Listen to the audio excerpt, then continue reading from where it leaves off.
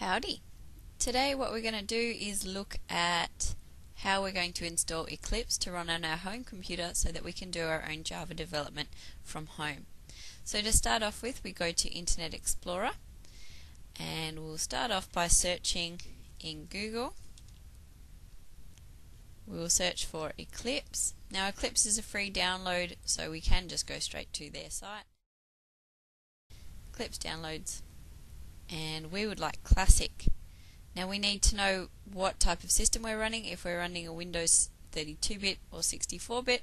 I'm running 64, so I'll click on that one. And I can then just click on the download button. I'm going to save this one to my downloads folder, downloads, and I'll save it in there. Now that our download's complete, let's just go find where we saved it and see if we need to do anything with it. So in the downloads, and it's just there, it's a zipped folder. So I'm going to extract it to that same folder.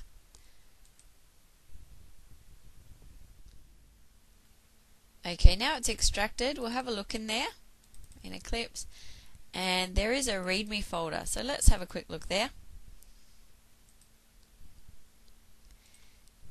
And there is some information that we're looking for here. For a Java development program to run, we actually need some Java information to work with. So we're running on Windows on this machine here, and I need to get, for my Java to run properly, I need Oracle Update 17 of Java 6, and I can either get that one or I can get a more recent copy. So I'm just going to copy that text and I'm going to go to Google and we're going to search for it. Okay, let's just have a look here at Java SE downloads.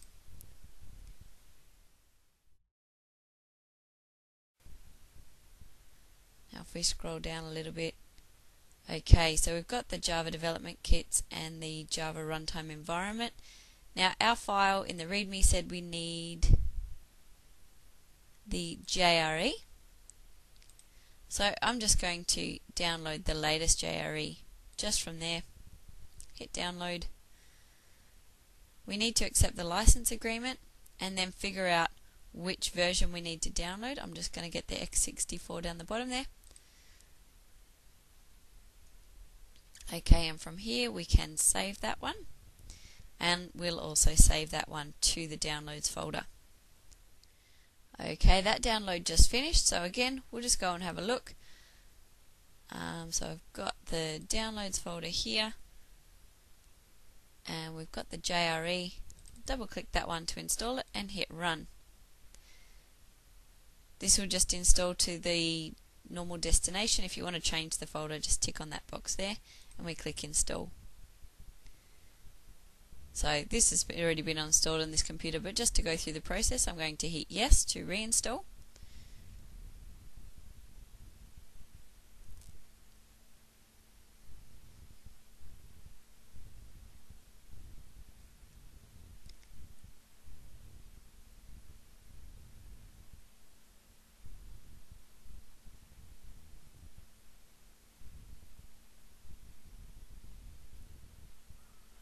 And we have a successful installation. So we'll close that one. Now we can go back to our Eclipse. Now Eclipse is a little bit strange in that it doesn't run an installer. You just need to copy this folder into your programs folder. So just right click on that one, say copy, go to your C drive, find your program files and paste it into there. Once that's finished copying, if you click into that folder, you can see that here we've got the application, Eclipse, and we can run it from there. Now if we want to make things a little bit easier for ourselves, we can right click, create shortcut. Now if I minimize that screen, I can put my shortcut onto the desktop and I can double click that to run. Every time that you run the program, it will ask you uh, if you do want to run it, and we do, so click run. Now when you're running this at home, if you've, you've got a version that is not Indigo, that's fine. Um, all your files will work as per usual. Now what we need to do is we need to specify where our work is going to be.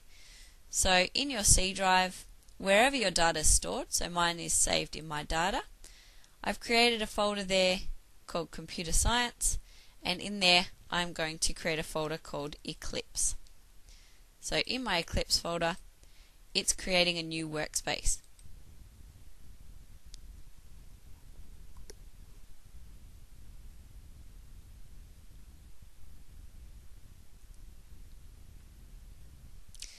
Here we get the welcome screen and we only get this the first time we run it. We've got options to look at the overview or tutorials, but what we're going to do is we're just going to go to the workbench. From here, this is our working screen. Our package explorer is where we'll see all our Java projects and files. In the middle screen is where we'll code. In the outline, it will show all the different components of that particular piece of code that we're working on and down the bottom is where we have any error messages that we need. So we're going to start by creating a project. So go File, New, Java Project. And this first one we're going to call Test 1. Remember with your naming, don't put any spaces in there. So give it a name and hit Finish. And you'll see that that project folder has appeared in your Package Explorer. Make sure that that folder is selected and in there we're going to create a new Java class. We're going to call this one Hello World. Again, no spaces, and finish. In terms of the actual code, don't stress at this point. I will teach you how to code as the year progresses. But just to test that my installation has worked, I'm going to create a small applet that's just going to display some text on the screen. So at the top, I import some of the Java information that will allow my applet to run.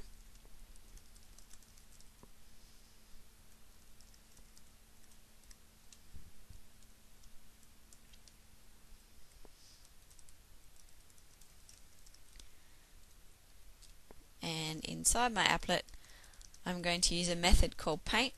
And paint is what allows me to draw things on the screen. In there, I'm just putting a piece of code that will allow me to draw some text on the screen. This text will say hello world and it will be positioned on the screen 20 across and 20 down from the top left corner. Okay, so when I hit run, that will allow my program to run and the applet should appear on the screen. When you do press run, it will force you to save your work. This is a bit of an added bonus. So my applet has popped up, it says hello world, so if you've successfully been able to do this, it means that you've successfully installed Eclipse. Good work!